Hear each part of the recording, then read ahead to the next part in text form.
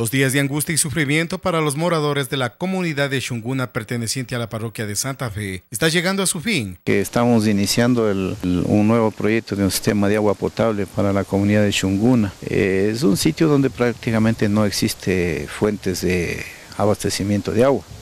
Entonces hemos hecho, este es un proyecto medio especial, es muy interesante, es pequeñito pero es interesante porque como usted verá la captación está en, la quebrada prácticamente y la comunidad está en la parte alta.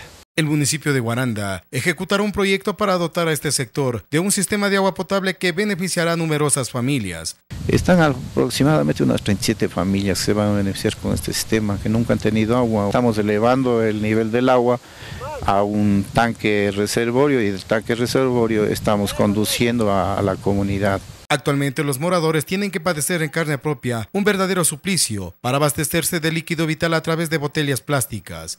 Nosotros muy agradecidos y tranquilos porque ya va a salir el agua porque teníamos que transportar en, en las pomas para consumir. ¿Así lo llevan Sí, así en las pomas consumir, cargando consumimos el agua. Todo este proyecto está alrededor de los 25 mil dólares, pero yo estimo que vamos a tener que pasarnos sobre eso unos 30 mil, porque realmente aquí no hay redes de, instalación eléctrica y tenemos que nosotros, para que trabaje la bomba y pueda elevar el, nivel del, agua, simplemente vamos a tener que hacer una conexión eléctrica. Y las instalaciones eléctricas están ya en la comunidad, entonces es una distancia que va a encarecer un poco más del proyecto. El agua es vida y la municipalidad de Guaranda llega con su generosa mano amiga para hacer realidad una vieja aspiración que muchos pensaron que nunca se ejecutaría. Tratamos de atender a, todo, a toda la ciudad, a todo el cantón.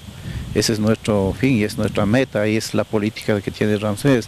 No solamente hay que atender a la ciudad, también hay que atender a las comunidades, que son las más necesitadas. Con imágenes de Will Mercury, reportó Víctor Hugo Poma para Guaranda TV.